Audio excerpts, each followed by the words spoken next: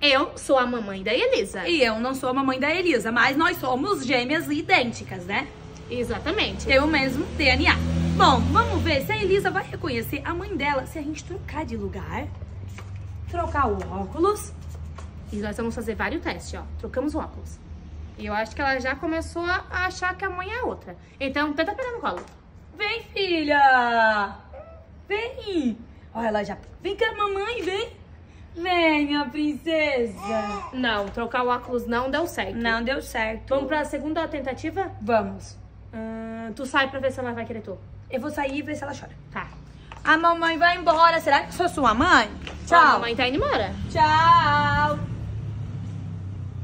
Não teve nenhuma reação. Agora... Deu tchau. Agora é a tua vez de ir embora. Deixa eu ver se ela vem. Agora é minha vez. Vem.